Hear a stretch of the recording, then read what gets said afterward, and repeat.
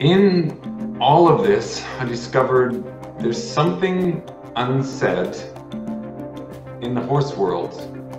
Everybody's looking for a technique, everybody's looking for another principle, everybody's looking for this thing that's going to help them get from point A to point B.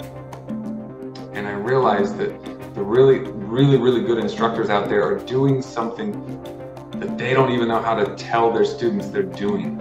They're stuck, the instructors are stuck in a world of teaching technique, saying, uh, if you just do this, it will start to work out. I realized, what are they doing that they're not saying? And I really started to pay attention to this.